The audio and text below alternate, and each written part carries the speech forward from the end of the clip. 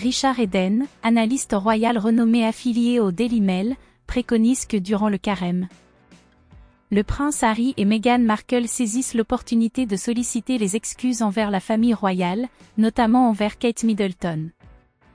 Conformément à l'analyse de cet expert éminent, relayée par le média britannique Express, une réconciliation avec le prince Harry et Meghan Markle demeure envisageable, toutefois, elle requiert impérativement des excuses émanant de leur part.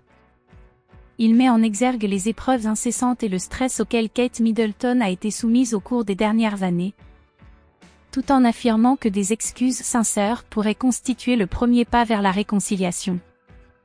La princesse de Galles a récemment été confrontée au diagnostic de cancer et se trouve actuellement sous traitement préventif par chimiothérapie. Dans ce contexte de grandes difficultés, cet observateur averti de la famille royale est d'avis que Harry et Meghan ont la responsabilité de rectifier les torts causés et d'apaiser les tensions. Le prince Harry et Meghan Markle sont vivement encouragés à faire preuve d'une humble reconnaissance de leurs erreurs et à exprimer des excuses, que ce soit de manière publique ou privée. Il perçoit cette démarche comme étant d'une importance cruciale tant pour la famille royale que pour le bien-être général.